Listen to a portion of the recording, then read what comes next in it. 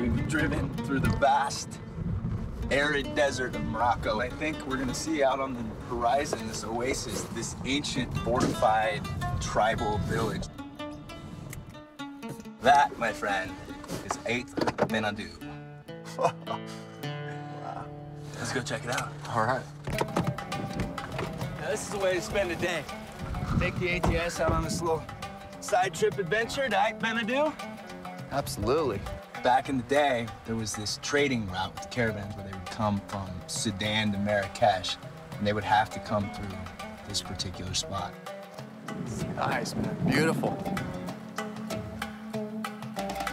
All right, so I organized a guide who's really knowledgeable. He's gonna tell us a little bit about this place. Hey. Salaam alaikum. hello. Hey. Um, hello. Hey, how nice are to you? meet you. Good. Good to Thank see you ya. very much. And Ali, you are a Berber. Yes, I am born here. Yes. Ah, What's life like here? Good life. Good life? yes. All right. Oh, Hello. What, what is this here? What are you doing in here?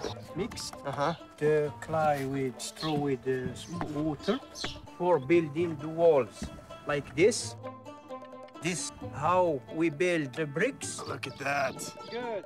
We haven't vegetables here because we have salt water. Mm -hmm. The river, it's salt. Oh, I didn't know that. They're really self-sustaining in this culture right here.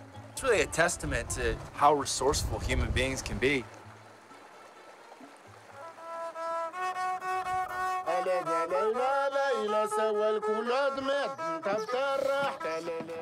Now we go to the top. Wow. It's a bit of a hike, Ali. Look at that instrument. Ali, this is Berber? Berber, music. Ribab. Ribab, yes.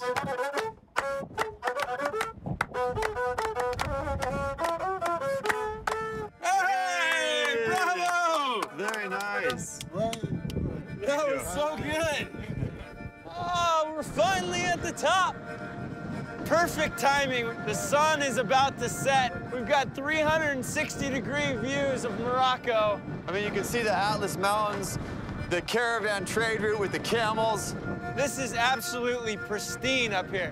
Hey, it's been a really good day. It's been a great day.